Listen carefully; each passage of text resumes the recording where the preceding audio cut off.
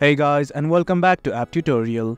In this video, we're gonna look at how to change the language of the Bumble web interface. Now let's begin.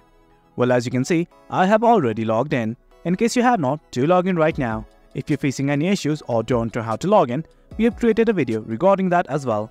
Initially, what you need to do is simply click on the top left corner. That's your profile picture along with your name. Just click on it. Then something like this will open up. That's the edit profile section. But from here, let's simply switch to settings. The button's right below edit profile. I'm gonna click on it. Then you can see something like this. That is the settings page. Simply scroll down and at the very bottom, you'll see something like language. And just below it, there's a drop down button. Just click on it and select the language of your choice. Well, it's up to you to select whichever one you wish. For simplicity, I'm gonna select a random one. And as you can see, the page is refreshing. And that's it guys. That's how we change the language of the Bumble web interface. It's quite easy. Hope you guys found this video informative and for more content like this do remember to hit like, share and subscribe.